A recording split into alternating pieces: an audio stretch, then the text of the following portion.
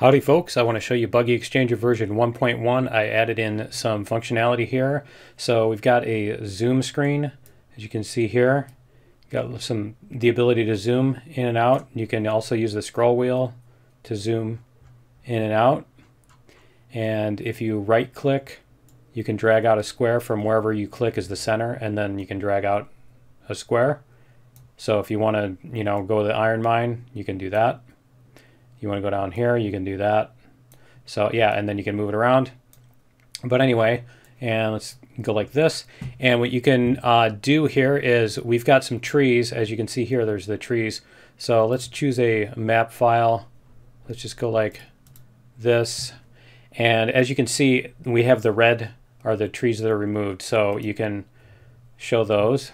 You can zoom in here can see your tracks here and everything. So as you can see, like we have over here, whoops, and I used the wrong mouse button. So over here on our track, I, there's a bunch of trees that are really close to the track and everything because I never got to those. So what I want to do is, I'll show you here, is I want to we do an auto tree and you can do whatever radius you want. Let's go 15 and auto tree and there you go. So it cleans off all the tracks. Now, I do not have it cleaning off all of the uh, industries yet, but what you can do is you can paint. So you can use here, we can turn the red back on so you can see what it's doing. But yeah, as you, if you just click and drag and you can remove all the trees. So we'll do this. We'll remove these ones from over here. Remove these ones from over here. And um, yeah, so you could do something like, here, I'll show you. We'll do a 100 meter radius. So if you want to paint a huge, now if you try to go really fast, it's just going to skip like this, as you see.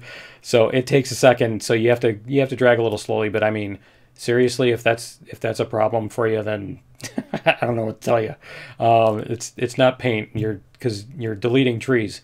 Okay. So anyway, um, that's how that works. You can also have it plant all, and it'll put all the trees back in and I don't want to do that because I want to show you what this save looks like. So we're gonna we're going to um, save this. We'll out this output this to slot six, and we'll hit save, and there we go, and it's saved to slot six. So I'm gonna load up the game and I'll show you what it looks like.